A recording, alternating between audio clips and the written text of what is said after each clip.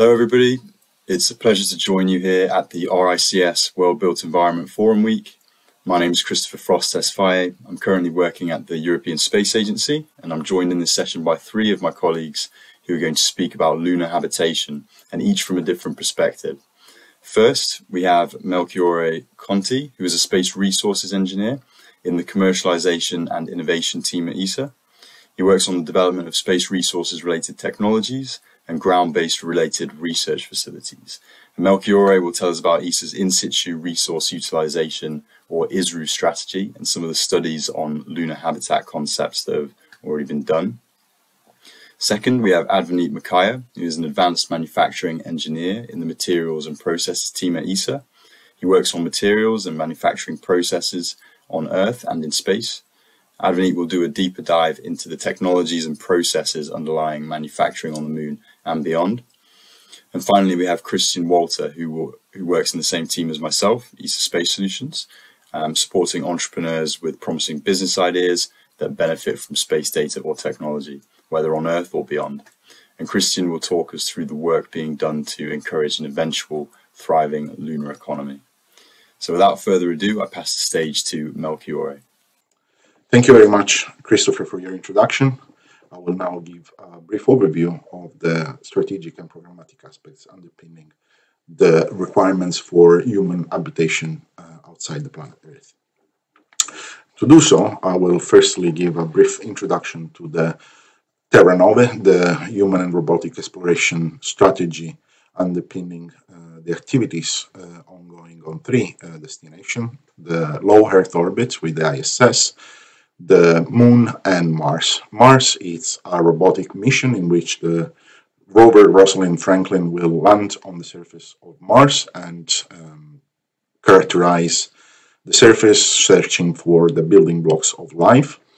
Uh, the Moon with the um, creation of the gateway, uh, structure similar to the ISS that will facilitate ascent and descent to the Moon and of course the Argonauts or the European Large Logistic Lander, which will carry out uh, several missions uh, bringing uh, payloads to the surface of the moon, both for scientific purposes but also technological developments.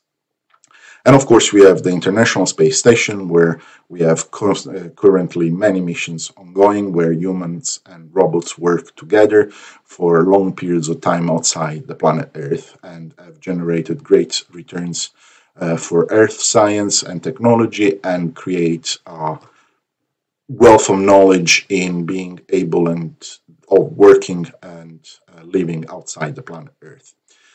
In particular, we focus on the moon, uh, where, according to the DG, the aspiration is to have European astronauts uh, on the surface of the moon before the decade ends. And this is part of a larger uh, organized, organized uh, strategy um, which is being um, developed by the ISECG, which is the International Space Exploration Coordination Group, looking at what are the milestones and steps required to make uh, the presence of humans on the surface of the moon sustainable and permanent. And as part of this, we have, as you can see, several elements, but one key element is the ability to use and, and um, transform the resources that are present on the surface of the moon. In ESA, we deal this through the Space Resources Strategy that was launched in 2019, and it's um, coordinated uh, by a multi-directorate um, group called the Space Resource Steering Group, which has identified three uh, flagship goals. One is the prospecting of the lunar south pole to understand uh, whether the water present uh, in the permanently shadowed regions aids uh, in quantity sufficient um, for uh, the use of humans. Uh, the development of a ISRU pilot plant capable uh, through an electrochemical system to transform uh, regolith, which is uh, the dust and ground uh, present on the surface in, of the moon, in um, usable resources, and of course, contingently develop applications that will be able to use these resources creating value added and supporting the development of the lunar economy, as uh, Christian will discuss uh, in his section. But let's have a look at what are these resources. Of course, there is the energy of the sun that will be captured using uh, solar panels, but more importantly, on the surface of the moon, we will have the regolith, which is a mixture of rocks and sand, uh, which is very similar in composition to what we have on Earth, with a larger component of silicon oxide and aluminum oxide in the regolith, which once refined could be used for as metals for construction, but also isolating oxygen for uh, propulsion. And of course, uh, there is the regolith itself that can be consolidated and used uh, for construction purposes, as Advenit will um, discuss in his own section.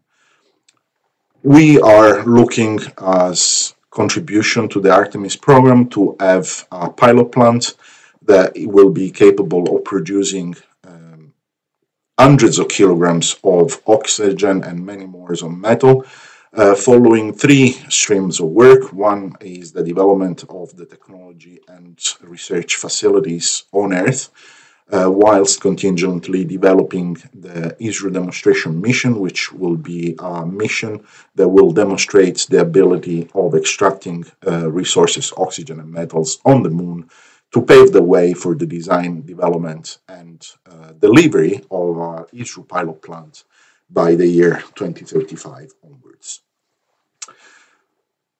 As uh, we discuss about habitats, the largest uh, project is the creation of the gateway, which is uh, part of the Artemis Accord and is a joint effort of, of several space agencies, including NASA and JAXA, and of which uh, ESA will play a very important role and will facilitate ascent and descent to the surface of the moon. And this will be one of the first habitat to be created. But looking at the moon, uh, the moon is a very inhospitable environment. It's exposed to vacuum, there is no atmosphere, so there is no protection from meteorites or radiation, and the dust itself has been identified by the Apollo astronauts as one of the biggest challenges for humans on the surface of the moon. Consider that the regolith, the sand that is present on the uh, surface of the moon, is not being grounded by the weathering effects because there is no uh, atmosphere nor uh, flowing water. So it's very angular and it's very insidious because it can penetrate uh, even the suits, as the photo of the astronauts um, highlights. For this reason, uh, starting in 2018, there were studies looking at how to build uh, environments, and one of these was a CDF study, a concurrent design facility study, looking at inflatable structure, multi-story inflatable structure that would have um, closed-loop regenerative uh, system for life support, would provide radiation shielding, and most importantly, dust resistance with airlocks able to segregate the environment between the outside and the inside, and of course uh, temperature controls because the moon uh, is um, subject to very large uh, swing on temperatures going from minus 200 to up to 550 degrees uh, centigrade depending on the region where you find yourself. Similar studies have also been conducted uh, for Mars but here the accent has been not just uh, an ability to survive as much as thrive, because uh, here the problem is that Mars is quite distant and it's not possible to have a return journey that is calculated in days, but it takes months to go from Earth to Mars and, and coming back. So the habitat, the, the, the, the building has to be in nature capable of being sustainable and being capable of um, be regenerative, creating sort of a closed loop uh, economy of the resources uh, within the structure itself. In Europe, we are developing uh, structures like the one shown in the picture, where we have uh, an inflatable environment that is capable of being housed uh, on the back of an EL3, the Argonaut, the large logistic lander I introduced um, in the earlier slides.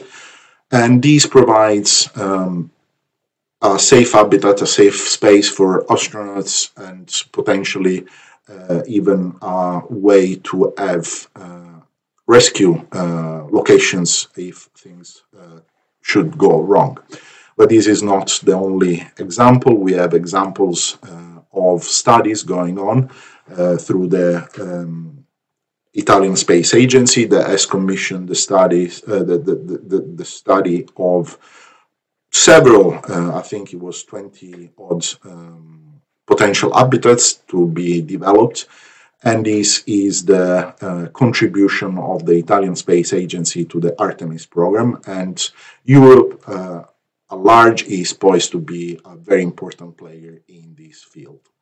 Of course, what is also going on is uh, an international effort in being capable of using resources in situ. So, up to now, I have described uh, payloads that will be launched from Earth and uh, will be used uh, by the astronauts, but is still something that will come from Earth to make exploration fully sustainable uh, and enable long-term exploration, it would be required to use um, local resources. And an example of this is the uh, Centennial Challenge initiated by NASA a couple of years back, in which the challenge was to build habitats using uh, mostly uh, the, the, the, the, regolith, in this case with uh, some um, products and plasticizers uh, that were used to create this form of cement. But I will let Advenit uh, discuss in more details the technological aspects and what other aspects are related to the use of resources, uh, local resources for uh, long-term uh, sustainable exploration. So, Advenit, the floor is yours. Thank you very much, uh, Mel and Chris, for the first part of the presentation. So uh, now I will uh, tell you a little bit more about how we can actually make, repair, and maintain a lunar habitat. And in particular, I'll tell you about the benefits of uh, in situ manufacturing for the, the production, the recycling, and the maintenance of the habitat and the associated hardware. So before we do that, uh, let's have a look at the what we need in order to uh, ensure a long-term human exploration mission involving a crew. Uh, so as uh, Mel has uh, mentioned earlier, the lunar environment is very harsh. So we have to make sure that we protect the crew from this environmental condition. It involves radiation, large temperature variations, uh, vacuum, and micrometeorite bombardments. So uh, once we have done that, we also need to ensure the mobility of the crew uh, all across the exploration site. Uh, we need to protect the crew for what was identified by the Apollo astronauts as the number one challenge, which is the dust. And of course, to have a long-term exploration mission, we need to provide means for communication and also energy generation and storage. In addition to that, we need to provide the necessary hardware and spare parts in case anything needs to be replaced to the crew. The crew needs to be able to, uh, to, to, dress themselves, so they need clothing, uh, they need food, and they also need medical care when, when needed. So on this chart, you see a picture on the left of the uh, supplies in uh, cargo vehicle for the International Space Station. So as you can see, the supplies, uh, which are, by the way, mostly spares in case something happens. The supplies apply, uh, occupy a very large volume and uh, represents a very high mass. Uh, so on the right here, you have uh, the benefits of what would happen if we are able to manufacture in situ the hardware that's needed instead of having to ship all the supplies from Earth. So that's the blue bar at the center of the chart. And the green bar is if you add to the in situ manufacturing capability the possibility to recycle, to reuse the materials that you ship once from Earth. Uh, and there again, you have a significant decrease in the, the amount of things, the volume and the mass that you need to ship from Earth.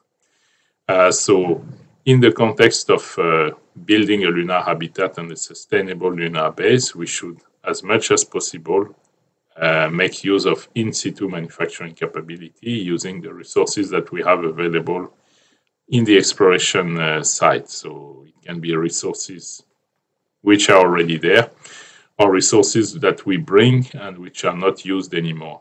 Uh, things like packaging, equipment which has reached this end of, the end of their life. So um, use as much as possible the resources available locally and uh, use as much as possible the possibility to manufacture directly on site. So we have identified the needs for lunar habitat. Uh, we now uh, look at the solutions, keeping in mind this possibility to, to use in situ manufacturing and local resources. So the first need we talked about was the shielding. So here you have a number of technologies that uh, ESA and other agencies have been looking at to transform the um, uh, the regolith into a construction material. So the regolith is the most abundant resource that you have locally on the lunar surface. It is this mixture of sand and rocks uh, that's covering the surface. So the first way to con convert this into a construction material is to use what we call a binder.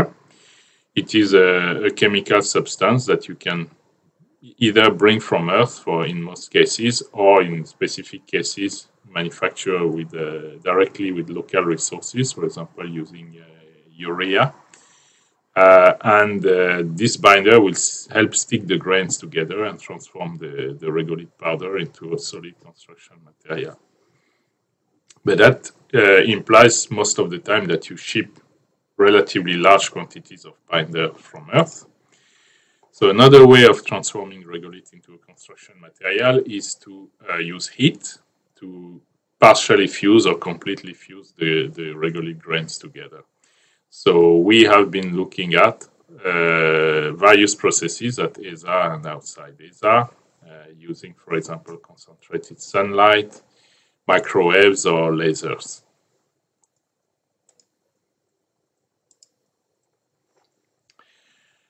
After the sheltering, the shielding of the of the crew, we have uh, identified the mobility as a as an essential need for sustainable lunar exploration mission, uh, and there again we can use construction processes to um, facilitate the mobility by flattening the ground, for example, or by um, avoiding huge dust clouds when the vehicle is uh, is moving on the surface.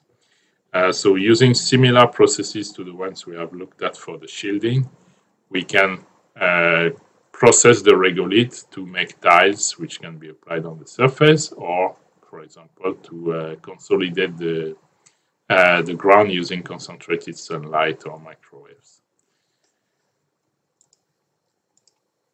We have also identified energy uh, generation and storage as, as an essential need.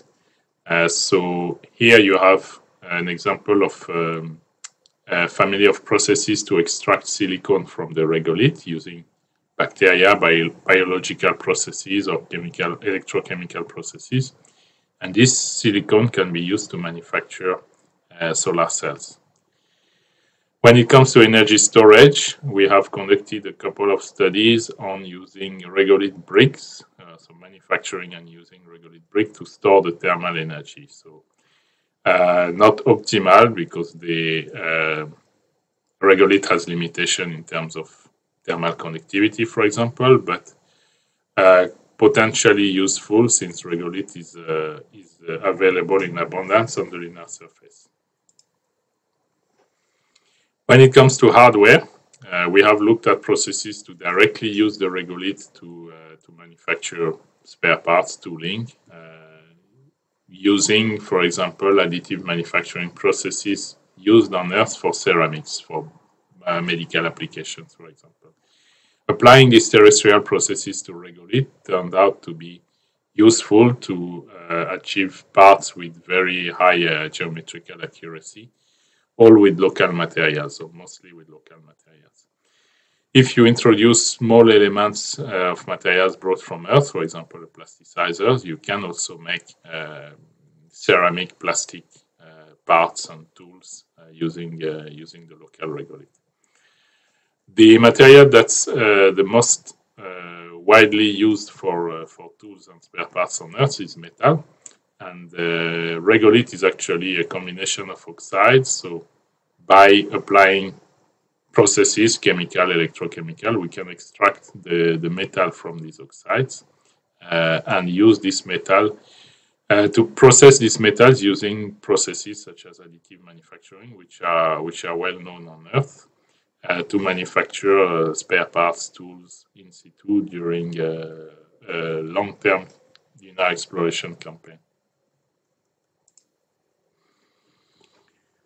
We have looked at processes involving the regolith, the material widely available on the surface. We can also look at processes to use materials that we bring from Earth. Uh, it can be materials that we bring for the purpose of manufacturing on, a, on a, in an exploration mission, or materials, as we mentioned earlier, which are not used anymore, packaging, uh, equipment which, which has reached its end of life and we can recycle those materials to manufacture the equipment and the tools that we need.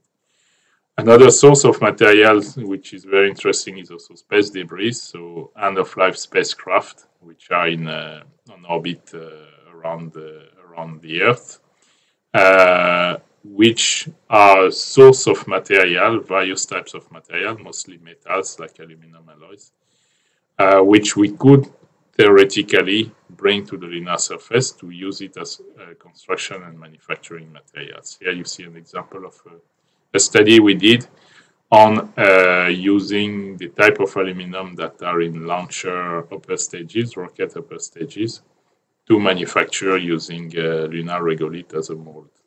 So the idea of uh, using and reusing the materials which are available uh, increases the sustainability of, uh, of a lunar mission. We have mentioned the need for uh, for food. So there, uh, additive manufacturing is uh, is, is studied on Earth for for food application. so why 3D printed food, print, printing food, in addition to being visually interesting, it also provides the possibility to vary the texture, the shape, uh, the color, even of, uh, of uh, food items uh, which is particularly interesting when you have a limited set of ingredients, like uh, like on the lunar surface. Uh, so providing this variety increases the uh, the morale, can boost the morale of the of the crew of the astronauts uh, by uh, breaking the monotony in the the type of food that they that they consume. And a very essential need for long-term exploration mission, even more so for Mars, where the return to Earth will be not practical is the, the medical care. And there again, using the developments in bioprinting, three dimensional bioprinting uh, here on Earth, we could translate such uh, technologies to uh, manufacture uh, medical items and even organs in a long-term exploration mission, for example, skin patches for, for grafts, or even bones for uh, for uh, to to treat fractures uh, in the context of an injury during a long-term exploration mission.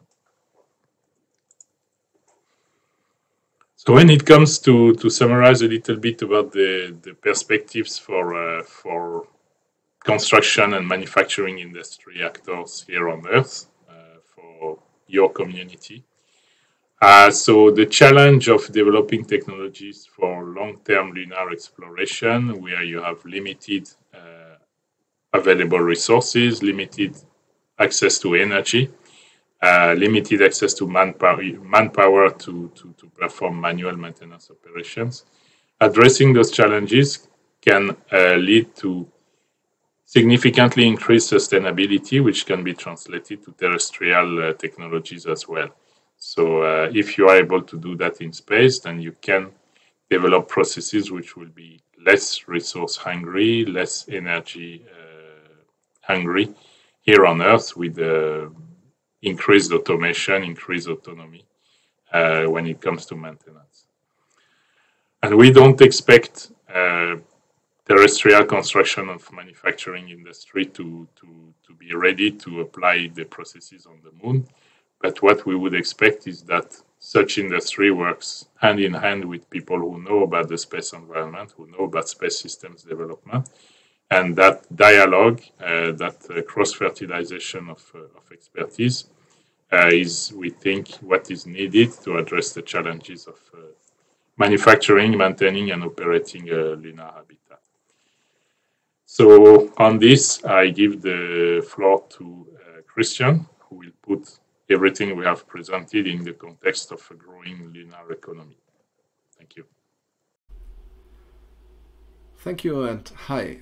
I'm Christian Walter. I work for ESA Space Solutions and I would like to tell you about business opportunities related to the emerging lunar economy. We are going back to the moon. More than 250 missions are planned in the next decade. And the lunar economy was predicted to be worth 100 billion US dollars. ESA is involved in several lunar initiatives and programs. One of them is Moonlight, bringing communication and navigation services to the moon for everyone to use. Let me show you a brief teaser of what is planned. We're going back to the moon. For the first time in more than half a century, humans will walk on the moon again. But this time, we'll feel closer. In the decades since we've been away, the giant leaps have happened here. The people on our planet have learned to thrive in a digital world, a connected world. The people who next walk on the moon will now be able to enjoy this same connectivity because of ESA's Moonlight Initiative. A lunar constellation of satellites and base stations providing seamless connectivity back to Earth, allowing new possibilities for discovery to communicate, to navigate, and to explore our place in the universe more deeply than ever before. With more countries than ever set to embark on their own lunar programs, Moonlight will support a permanent lunar space station that will orbit the moon. A gateway to these further journeys, so instead of going back, we can go forward to the moon, together, and this time, to stay. Moonlight will help us safely touch down on the surface and touch base with our colleagues and loved ones once we're there, keeping us constantly connected with home as we venture further and further away from it, pushing the boundaries of science and exploration beyond our planet, beyond the moon and Mars, and beyond our imaginations.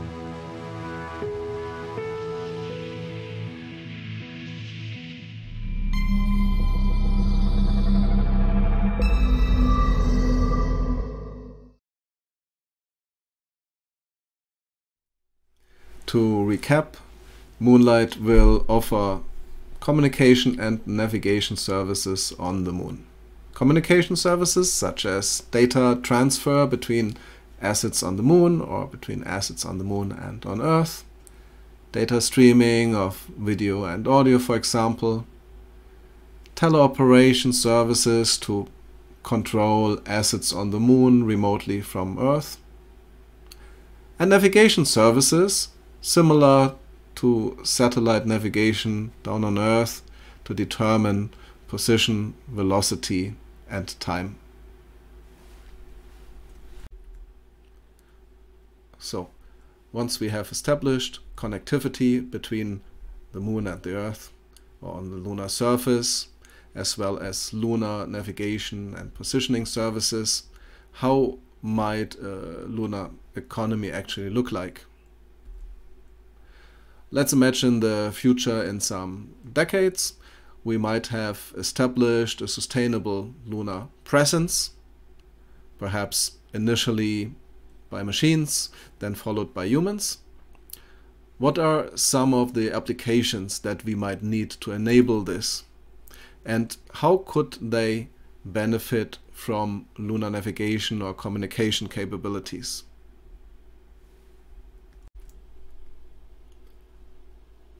One of these application areas relates to the prospecting, extraction, storage and distribution of resources such as water, soil, metals, etc. Water, for example, can be broken into oxygen and hydrogen, which is useful for life support and as propellant. Lunar communications can enable a continuous monitoring and remote control of these assets, while lunar navigation can allow asset tracking via positioning. One key enabler is energy. Energy needs to be generated, for example, via solar cells that convert sunlight into electricity, stored in fixed or mobile batteries, and distributed, for example, via power grids, energy supply vehicles, and fuel stations.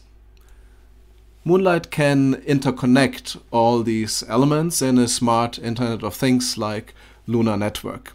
Communication services can allow remote monitoring and control of such energy infrastructure and navigation and positioning services can allow for asset tracking and also support the energy management. With uh, resources and energy available, our presence on the moon could be further advanced. Roads, machinery parts, and other building blocks may be needed to construct a permanent lunar presence. And Moonlight communications and navigation services can help mapping the environment using georeferenced sensor data, prospecting and extracting resources, transporting resources or building infrastructure via mobile vehicles or robots, and coordinating or monitoring construction activities. Lunar soil, regolith, is one of the lunar resources that could be used as material for construction or extracting elements such as metals. Certainly, innovative manufacturing technologies and processes are needed using in situ resources as much as possible. Habitats protect humans from the harsh conditions in space, such as large temperature differences, lack of oxygen, impacts, or radiation. The combination of communication and positioning capabilities can enable services for mapping and surveying suitable areas, property management, construction, support for human activities in the field, hazard monitoring or search and rescue operations, for example.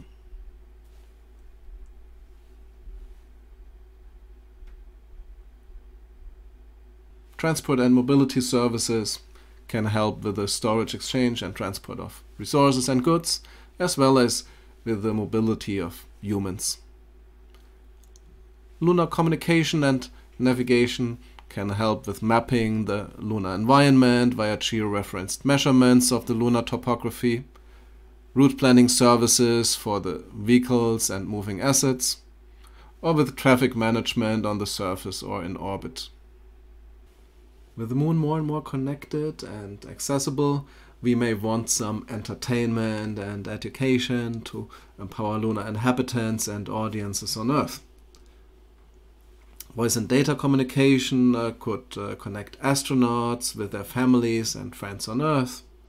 Virtual reality or augmented reality could offer immersive experiences and video games and rely on positioning and connectivity and movie productions um, or luxury tourism uh, could be applications that are a little bit further out in the future. These are, of course, just some of the many application areas that could be supported by Moonlight. To recap, we are going back to the moon. More than 250 missions are planned in the next decade. There are many application areas involved in supporting a sustainable lunar presence. And Moonlight aims to offer lunar communication and navigation services for anyone. This opens up opportunities for innovative businesses. Now, we want your business ideas. We look for promising business ideas for new service concepts that benefit from Moonlight's capabilities and that address relevant customer and user needs. To stimulate the lunar economy, we plan to launch a competition and award up to 200,000 euros for studies to develop and assess selected business ideas. In return, we look for attractive market opportunities and customer demand, commercially viable service concepts, technically feasible solutions, an added value by Moonlight's capabilities, and motivated teams with business and domain expertise. Important to emphasize here that we do not only look for space companies, but for companies also specialized in domains such as construction, manufacturing, or energy.